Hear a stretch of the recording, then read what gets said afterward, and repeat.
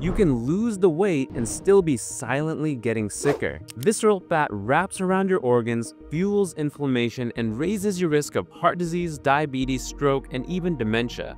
I'm Dr. Jon Go. I'm a surgeon. I lost 75 pounds myself, and now I help others do the same. In this video, I'll give you 8 science-backed habits to reduce visceral fat from the inside out. They're simple, evidence-based, and built to fit your life. This isn't about looking shredded, it's about staying alive and feeling alive. These habits are rooted in real data and refined through real results. But real quick, this is for education only, not medical advice. Always talk to your own doctor before making any changes. Now, let's fix what matters. Number one, eat polyphenol-rich foods. Polyphenols are plant compounds in fruits and veggies. They influence your gut-liver axis and increase molecules like urolithin A, which supports mitochondrial function and metabolic health. In the Direct Plus trial, a high polyphenol Mediterranean diet reduced visceral fat more than a standard healthy diet, even after accounting for weight loss. Foods rich in polyphenols include blueberries, pomegranates, green tea, leafy greens, and extra virgin olive oil. These foods don't just improve health, they help your body target the fat that matters most. Now, let's go upstream to the recovery systems that regulate your hormones and hunger. Number 2. Fix your sleep and also stress and hydration. Sleep affects key hormones tied to fat storage, appetite, and recovery. There are two main parts to consider here, falling asleep and staying asleep. You also want high quality sleep, that is more deep and REM sleep, which are the restorative phases of sleep. So how do we do all this? Well, number one is keep a fixed sleep schedule. Go to bed at the same time, wake up at the same time. This helps normalize your circadian rhythm. A trip that I use daily is a hot shower close to bedtime. This helps drop core body temperature because your surface blood vessels dilate with the heat. And lower core body temperature helps with sleep onset or getting to bed. When you wake up, get daylight exposure early in the morning to anchor your body's clock. Of course, stay hydrated during the day, but limit the amount of fluids at night. I personally don't drink fluids within 3 hours before bedtime. Avoid caffeine 8 hours before bed, eat lighter and earlier dinners, and keep your room cool, dark, and quiet. Personally, my thermostat's set between 68 and 71. Also, you need to address chronic stress, because chronic stress leads to higher cortisol which promotes visceral fat storage. So for me, that means working out regularly, journaling, meditation, hanging out with my cats. Once your sleep and stress are under control, the next step is to repair your gut, where your body decides how to absorb and how to store fat. Number 3. Repair your gut. Your gut microbiome affects insulin, inflammation, and how you store fat. Some studies show specific probiotics like Lactobacillus gasseri can reduce visceral fat in about 12 weeks, but of course results can vary. Good sources include kimchi, yogurt, and kefir. You can also add prebiotic fiber from chia, flax, or psyllium, and that helps to feed the healthy bacteria.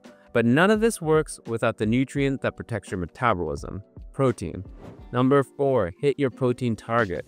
Protein protects muscle. Muscle drives metabolism. Some studies show higher protein diets preserve lean mass and reduce visceral fat more than lower protein diets with the same calories. So aim for 0.7 to 1 gram of protein per pound of target body weight. Build your meals around lean meats like chicken and fish, and replace mindless snacking with Greek yogurt, cottage cheese, eggs, and other healthy snacks. But protein alone isn't enough. Your muscles need stimulus. That brings us to training. Number 5. Resistance training. Lifting weights does more than just build muscle. It helps reduce visceral fat and improves insulin sensitivity. Train at least two to three times per week. Prioritize compound lifts like squat, bench, deadlift, row, presses. Stick with the rep range between 6 and 12 reps, aiming for 3 sets per major muscle group and 1 to 2 reps in reserve. You don't need long sessions, you just need consistent stimulus. And if you don't know what reps in reserve are, or you don't know where to begin with lifting, check out my A to Z guide on weightlifting here, made for beginners. Now, let's zoom out from what you eat to when you eat.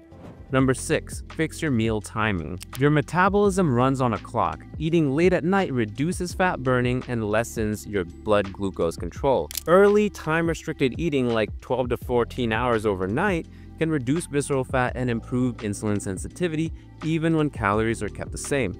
Eat your first meal within 1 to 2 hours after waking and finish eating 3 to 5 hours before bed. This creates a more natural time-restricted eating window.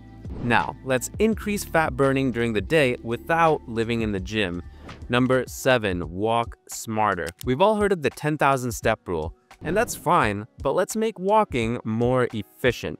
The Japanese interval walking training method alternates 3 minutes of fast walking and 3 minutes of slow walking, and this can raise cardiovascular fitness and fat burning more than just steady walking alone. Do 5 rounds for 30 minutes total, 3 days per week, or whenever you go on a walk.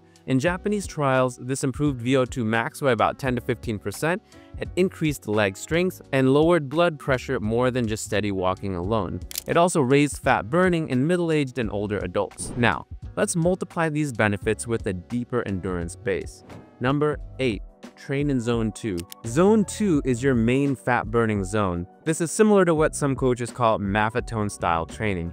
Train at 60 to 70% of your estimated maximum heart rate, which is about 220 minus your age. If you want accuracy, use a chest heart rate monitor. I use the Garmin one linked below.